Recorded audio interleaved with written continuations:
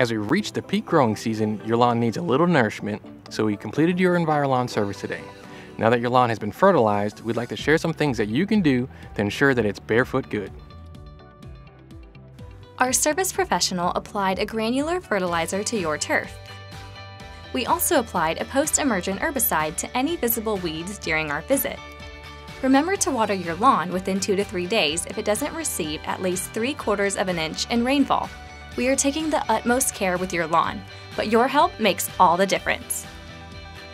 If you have any questions about your EnviroLawn service, please don't hesitate to give us a call.